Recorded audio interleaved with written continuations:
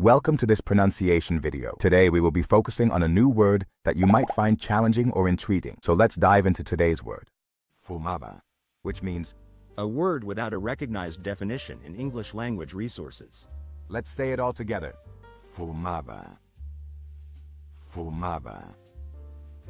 Fumaba. One more time. Fumaba. Fumaba. Fumaba. Thank you for joining us on this adventure in pronunciation. Remember, language is a journey, not a destination. Keep exploring, experimenting, and expanding your linguistic horizons. We'll see you next time.